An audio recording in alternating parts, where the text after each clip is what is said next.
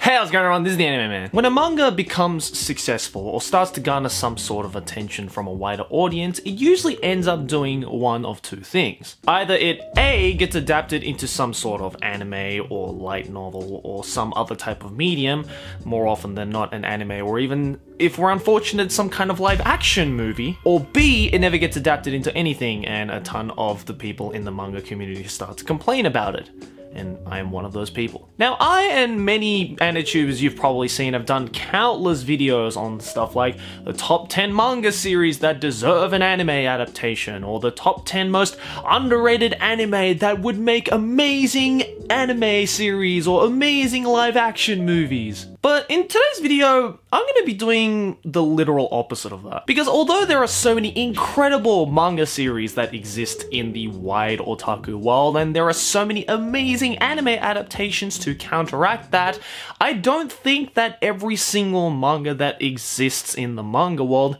needs to be adapted into an anime. Because truth be told, not every single anime can be adapted into an anime. At least not in a way that will do the original manga justice. I'm looking at you, Berserk. So today, I've decided to gather a collection and talk about 10 amazing manga series that shouldn't get an anime adaptation. Now, mind you, as the title of this video suggests, these are 10 amazing manga series, or at least what I personally believe to be 10 amazing manga series. Obviously, everyone's manga tastes change. There may be some manga on this list that people are not really that familiar with, or maybe not even that favorable with, but I, for one, think that these 10 manga series are fucking amazing and are 10 manga series that, no matter how hard we try, unless some kind of miracle occurs, would probably not make great anime series. Obviously, it goes without saying that there are plenty of manga series out there that don't deserve an anime adaptation because, well, they, they're kind of just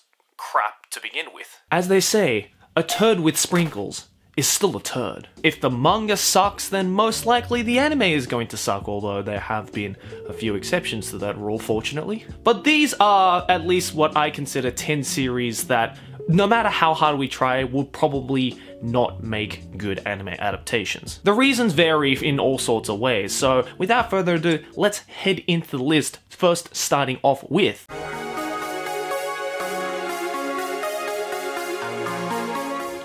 Wait, Joey, you're gonna put a Shonen Jump manga on this list already? And it's not Psyren? How fucking dare you? Look, my boys, I loved me my Psyren too. Don't get me wrong, I'm right there with you with the rage of Psyren never getting an anime adaptation, but more so than that, I am just beyond annoyed and a little bit pissed off, I feel, with especially the, the Shonen Jump tards that exist on the internet, of how unfamiliar they are with this particular series, M0. It's simple, even within the Shonen genre from which it stems from, and wasn't exactly the most talked about series even while it was serialized in Shonen Jump during the mid 2000s. Maybe because it was birthed during a very competitive era of Shonen Jump, who knows. But despite its now cult status in the shonen manga genre, I feel that there is one reason as to why, no matter how hard we try, we will never properly get a good anime adaptation of M0, and that is Kano Yasuhiro's extremely distinct art style. Now, this is most likely going to be a recurring point throughout a few more series on this list, but in the case with M0, it's the only reason why it can't possibly get a decent anime adaptation. Because the story in itself is simple. It has comedy, action, it even has ecchi and has a solid story and characters that are entertaining all sorts of different ways, but Kano Yasuhiro's art style is so distinctly wavy and warpy that no amount of terrible CGI or Sakuga could probably do it justice. The way that these characters flow and move too is so unspecified and almost out of this world that it would require a seriously talented director and studio to pull this one off. Even with great choreography and directing, it's still hard to see this show spring to action despite the large amount of action scenes within it. And in all honesty, with how little known this series is to anime fans in the West, I don't see it doing too well in sales either. So with this one, I'm honestly okay with just leaving it within the panels of the page rather than it being brutally murdered by some kind of understaffed anime studio. I absolutely love Kano Yasuhiro's art style and character designs. They're just so cute and so badass looking at the same time. And, you know, honestly, I'm okay with it not getting an anime. I'm okay with its kind of underground cult status that it has within the shonen manga area. So uh, if you enjoy your Shonen Jump manga and you've never heard of M0, what are you doing, boy?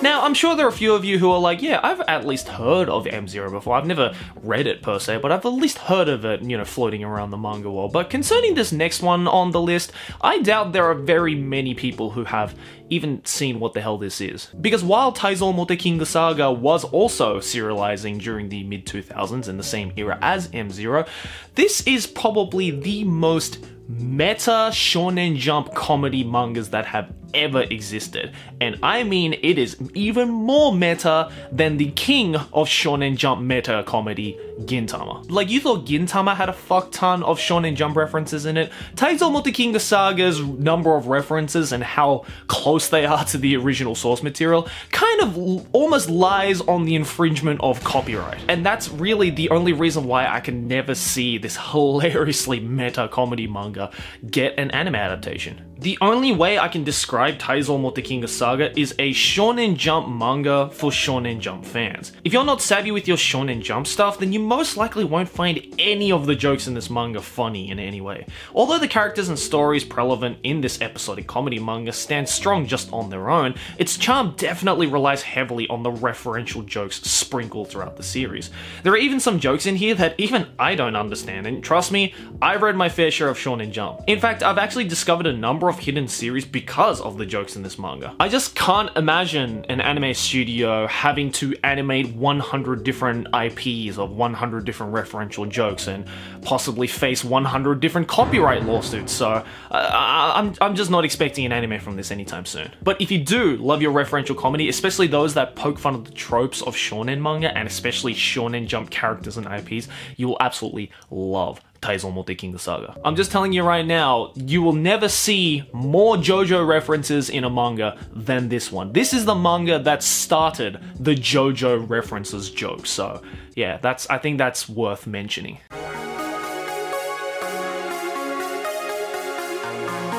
I'm sure you've heard of people saying within the manga and anime community that manga is not just a comic, it is an art form. And I think Vagabond is probably the closest we will ever get to making that statement a blinding reality. Now, although the contents of the manga are not exactly hard to understand, the characters aren't exactly, you know, non-relatable, or it's not exactly the most fully experimental way of storytelling that we have seen in the manga world, just the sheer god levels of artwork by author Inoue Takehiko is probably going to make an anime adaptation of this almost impossible to top. Although Inoue Takehiko is no stranger to getting his works adapted into anime, one of his most famous manga series, Slam Dunk, became a very successful anime adaptations in the mid 90s, but I feel that fact plays a huge role in why Vagabond won't ever get an anime adaptation. Inoue Takehiko's art style fits more into the realist side of anime art, where character faces, expressions, and proportions look more like real life humans rather than fictitious characters that clearly only exist in fantasy. This is a style of manga that hasn't seen a whole lot of success in anime, especially in the recent years. While this art style was popular in the mid 80s to mid 90s, going into the 2000s, the general look of manga and anime has slowly started to warp away from realism.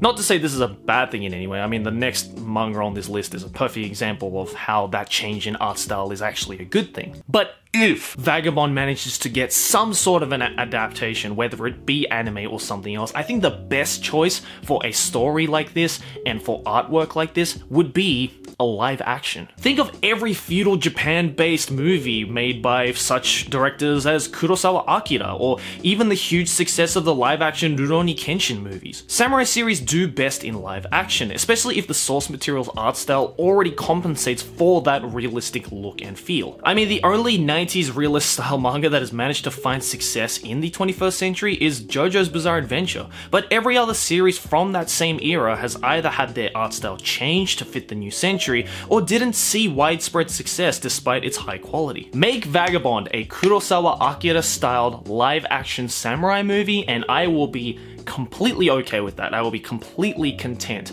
with calling that the one and only Vagabond adaptation. Otherwise, just leave it alone. It's already shining so brightly within the pages of the manga. Inoue Takehiko's art style is untouchable, and every single anime director, anime producer, anime studio is fully aware of that. So just just leave it be. It's fucking amazing. Go and read it. If you thought the first manga on this list had warpy and wavy art style so much so that it would be really difficult or even impossible to get an anime adaptation of, then Nejimaki Kagyu has no chance in hell. Because the amount of wavy and warpy art styles in this series is evident right from the name of the damn series. But even if you took away all of the spiral motifs away from this narrative, which I don't know why you would, because that's what makes it honestly really interesting and unique, the in author's insane art style would still be basically impossible to adapt into an anime. There's only really one adjective that I can use to describe author Nakayama Atsushi's style insane. The way he proportions characters, bends backgrounds to manipulate the character position of the scene, as well as the bizarre use of over expressionizing emotions in character faces and movements would just never work in animation. Even if you get a really talented director like Masaaki Yuasa, who I believe is the master of warping character proportions to make things look really strange and even manipulating camera movements and camera angles to make something look trippy and out of this world, he will take one look at any panel from Nejimaki Kagyu and just be like, nah bruh, nah, I, I, I ain't doing it. Which is a real shame because at first when reading this manga, it seems like a really bizarre, weird, sometimes gross looking series, but as you continue to read into it, the more these bizarre shapes and movements start to look normal. It's kind of the same feeling I got when I first started reading the Grappler Baki series, but somehow even more proportionally fucked up. And I mean, hey, I was going to add the Baki series into this list a long time ago when I was still conceptualizing this video, but then uh, Netflix proved me wrong by creating an amazing Baki anime adaptation. So hey, we might have a chance with Nejimaki Kagyu as well. Maybe if I'm lucky enough and someone up in the Netflix clouds will hear my voice, they will adapt a Nejimaki Kagyu anime just as good as they did with Baki. Who knows? Only time will tell.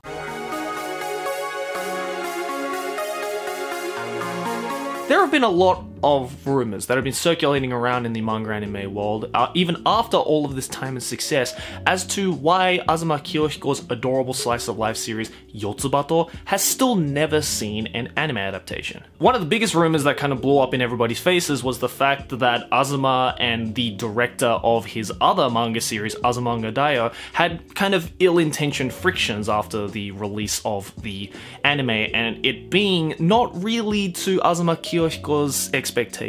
The real reason is a lot more simple than that, luckily, and mainly has to do with the way that the Yotsubato manga is narratively structured. One aspect about this series that differs somewhat to a lot of other slice of life manga is its heavily idiosyncratic storytelling methods. A lot of chapters of the manga start uneventfully and end with little to no expectations, which, even for a slice of life series, feels quite strange and almost avant garde at times. I can honestly see where the author is coming from in that aspect. I really don't think that there is any point really to try and adapt something that barely has any animation in the first place within the panels of the manga into something that is on the big screen, i.e., that will be entirely animated. Like, they might as well just make a fucking PowerPoint presentation and call it a day. If you are thinking to go read Yotsubato or rather anything by author Azuma Kiyohiko and are not really into the slice of life genre, I'm gonna stop you right there and saying that you're probably gonna find his stuff boring. And trust me, as much as I love Yotsubato myself,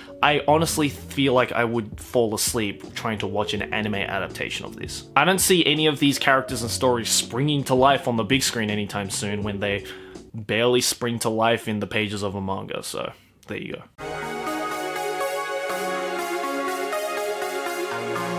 Have you ever read a manga and just slowly thought to yourself, how the fuck does anyone draw like this? Like, it's a manga that just looks so amazing that you fail to understand how a human hand could have possibly created it. I've had that happen to me a lot of times while reading all sorts of different manga, but definitely the one manga I think of when I think back to an experience like that is Honda Shingo's Hakaiju series. Look, I've read a lot of horror survival manga in the past, but have read nothing that matches up to the sheer terror and awe that the monsters in Hakaiju gave me throughout its 21 volume serialization. This manga probably has the most amazing monster designs I have ever seen in manga. They're creepy as hell, disgusting in form, and terrifying in action. Literally every monster from every nightmare that has ever been conceived makes an appearance in Hakaiju. And it's not just the amount of detail in action and art. Much like Vagabond, the character designs fit more into the realism side of manga art, and thus would work a lot better, I feel, in a live action action setting rather than an anime. But unlike Vagabond, the monsters in Hakaiju would probably get brutally murdered by the low quality, shitty levels of CGI that the Japanese film industry has to offer. I mean, look at Parasyte the Maxim live action. That is a movie that every fan of the Parasyte series wants to eradicate from their memories. At least Parasyte only had a comparatively small amount of CGI monsters. Hakaiju would be entirely CGI monsters. That sends shivers down my spines just thinking about it. So in saying all of that, I seriously can't see Hakaiju being adapted into a live action, even an anime. I just cannot see it without having to sacrifice the art quality that Honda Shingo offers in the manga. And I mean, hey, it seems to work perfectly in the manga medium anyway, so why try and fix something that isn't broken?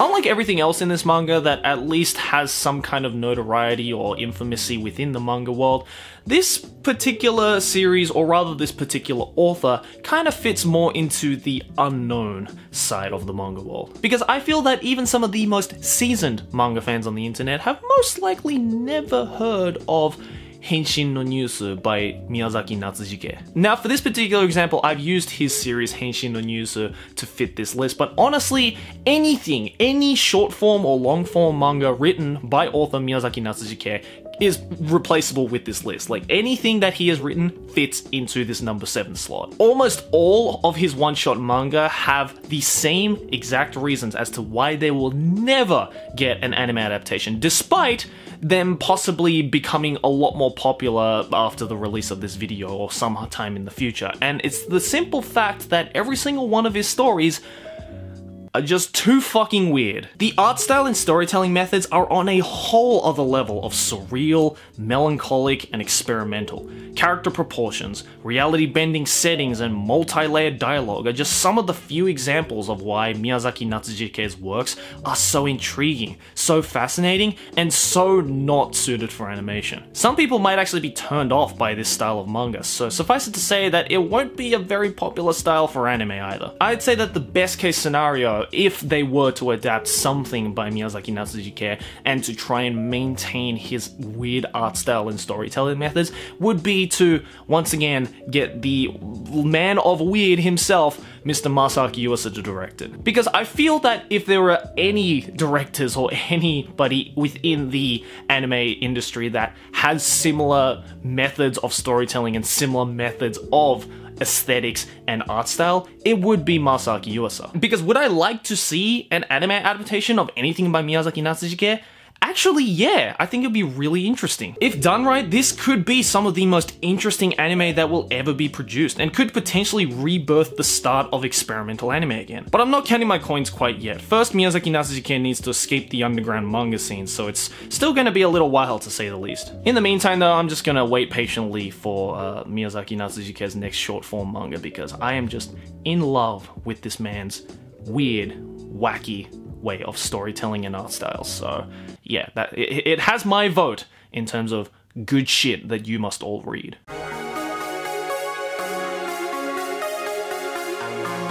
Moving away from the weird and experimental onto the downright disturbing and creepy is author Oshikiri Rensuke's brutal revenge thriller story, Misumisou. Now, when most people think of Oshikiri Rensuke, they think of this series right here, High Score Girl. A bubbly, cute, and charming comedy series that in 2018 got a pretty decent anime adaptation, which I also quite enjoyed. But Misumisou is one of the few examples of a manga author exploring genres and exploring storytelling that is really the polar opposite of what they're more comfortable with and coming out successful on the other end. Now, I'm fully aware of the fact that Misumisou is actually a series that is not really favorable by a lot of people, especially those who are more used to the author's comedy style series like High Score Girl. But I honestly thought Misumisou was a really brutal yet powerful and thrilling series that actually played with the author's kind of strange and bubbly art style to its advantages. Because the artwork that accompanies this series is not the serious, realistic style that you usually see in these types of genres. But I do think this cartoony look creates a really interesting juxtaposition to the genre of the story,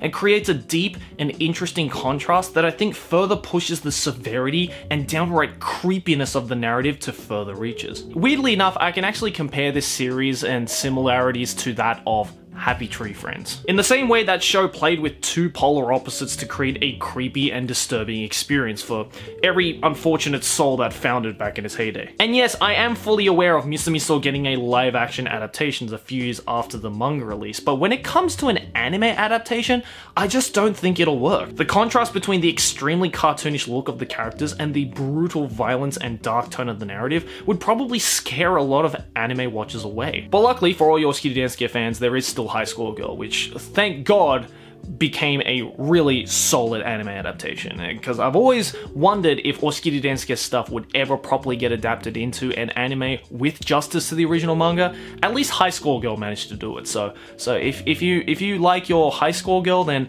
at least go and watch that. But I mean hey, with the fact that High Score Girl worked, there might also be a chance that Misumisou might work, but it's definitely going to be a little bit more of a challenge than that of High Score Girl.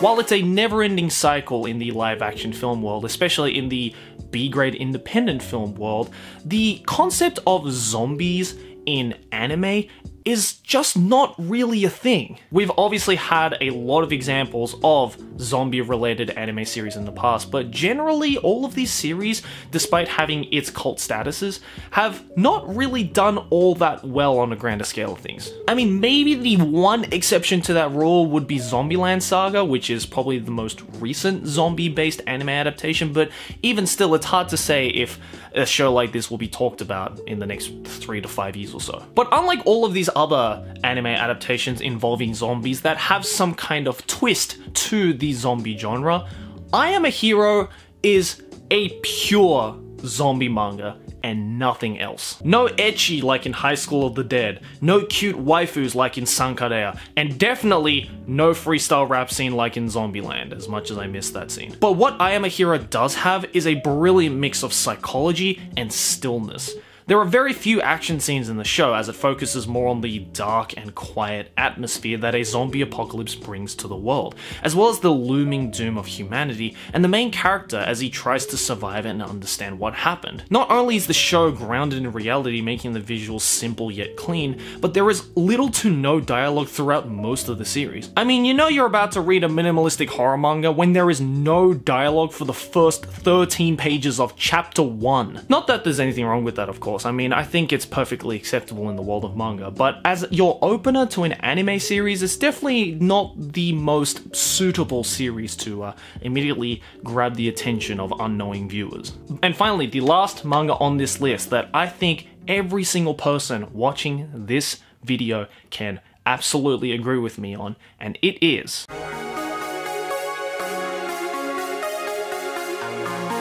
Yeah, you probably saw this coming if you noticed the familiar little bird boy on the thumbnail of this video. Now for those of you who don't know, Oyasumi Punpun is considered by many to be the Mona Lisa of the underground manga world and is the favorite for a lot of seasoned manga fans out there. Actually I lied, it's more like the Guernica of the underground manga world because it looks like a beautiful art piece on the outside but when you uh, dive deep into it, you realize that it's just a, a, brutal, bloody battlefield of sheer emotions. And I love it. Now, much like the seventh entry in this list, I'm using Oyasumi Punpun merely as an example of the author's most famous, or in this case, most infamous work, but really anything in Inio Asano's bibliography can perfectly slot into this part of the video. And yes, I'm perfectly aware that there has actually been one adaptation of something by Inio Asano, and that is Solanin, his first debut work that was quickly turned into a live action movie of the same name, which, weirdly enough, was really fucking good. But out of everything Inio Asano has done, Solanin is probably his most lightest work, as the author is most known for his extremely melancholic, extremely dark toned narratives, which I just do not think will work properly and will be translated properly into an anime format. Take, for example, Girl on the Shore a brutal, harsh, and graphic commentary on teenage sexuality and maturity. Or what about Reiraku, an almost self-commentary of the author retold in the eyes of a fictional one, meant to represent the real person making the manga itself. That sounds confusing, uh, that's just how it goes, bro. And most especially the titular Oyasumi Punpun. While it is an incredibly brutal yet beautiful piece of social commentary, and, trust me boys, I am planning on doing a whole dedicated video on this series because there is a number of reasons as to why this is my favorite manga series of all time. I just cannot see any part of this manga working in an anime adaptation. One aspect that makes Inio Asano's work stand out so beautifully in the manga world is his intricate exploration of the human personality. While reading through his works, you'll come across every single fictional characteristic you recognize and don't recognize all at the same time. His manga can have vividly realistic moments, all whilst being part of a very unrealistic setting and vice versa. Careful attention to the backgrounds and the flawless compositional techniques he uses to open and close certain noteworthy plot points is what makes Inio Asano such a revolutionary face in the manga world. And honestly, more than anything, I just don't want Inio Asano's name to be tarnished by some kind of mediocre, or worse still, a terrible anime adaptation. I mean, I've interviewed the man himself, and my god, the amount that I look up to him just it sends shivers down my spine, boy. And in the same way, thinking of a terrible adaptation of an Inio Asano manga also sends an equally large shiver down my spine. Because what makes Inio Asano loved by me and so many people in the manga world is the fact that he is purely stuck in the manga industry. He doesn't need any kind of adaptation to expand the universes of his series or to grow his characters or to grow the inside of the mind of Inio Asano through to the readers. He can perfectly do that through the pages of the manga. And honestly, if he's fucking perfect at doing it in manga, just leave it in the manga. And I think really that's the bottom line that I want to express with making this entire video. Just because a manga is good it's okay to leave it at that. In the same way that not every book that is ever read needs a Hollywood adaptation, not every manga needs an anime adaptation. I get some people will say like, oh, I can't be bothered to read manga, I can't be bothered to read something. Watching anime is just so much easier. I totally get that, guys, but trust me, there's a reason why I love manga so much more than anime, and I know that's a really fucking blasphemous thing to say, especially coming from a dude called The Anime Man, but I really just wish every single one of you watching this video will give manga a go. Whether it be something on this list or whether it just be a manga you happen to find in the corner of a bookshelf in a library, just pick it up and give it a go. Reading is not that much harder than watching something and it is a lot of the times a hell of a lot more enjoyable than watching it. Because if you are one of those people who say that they can't be bothered to read manga or watching anime is so much easier or they don't like reading, then you're really missing out on some seriously priceless diamonds in the rough. But hey, that's just my opinion.